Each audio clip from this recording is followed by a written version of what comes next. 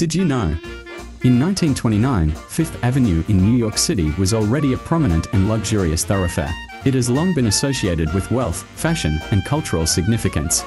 Here are some key aspects of Fifth Avenue in that era luxury and high end retail. Fifth Avenue has been known for its upscale shopping destinations. In 1929, it was lined with elegant department stores, high end boutiques, and flagship stores of prestigious brands. Luxury retailers and iconic department stores, such as Saks Fifth Avenue, Bergdorf Goodman, and Tiffany Company, were already established along this prestigious avenue. Grand architecture, the buildings along Fifth Avenue were characterized by grand and opulent architecture. Many of the structures were designed with intricate details, ornate facades, and a sense of grandeur that reflected the prosperity of the time. Cultural institutions, Fifth Avenue was home to various cultural and educational institutions. The Museum Mile, located on the eastern side of Central Park along Fifth Avenue, housed renowned museums such as the Metropolitan Museum of Art and the Guggenheim Museum.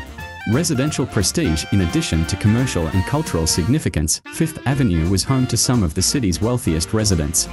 The area around Central Park, known as the Gold Coast, featured luxurious mansions and apartments occupied by affluent families. Social scene, the avenue was not only a shopping destination but also a social hub. High society often gathered along Fifth Avenue for events, parades, and social activities. The street life was vibrant, with people strolling along the sidewalks in fashionable attire. It's important to note that 1929 was a significant year in history because it marked the beginning of the Great Depression. While the early part of the year may have still reflected the opulence and prosperity of the Roaring Twenties, the stock market crash in October 1929 had a profound impact on the economy, altering the social and economic landscape of the country and influencing the character of places like Fifth Avenue in the years that followed.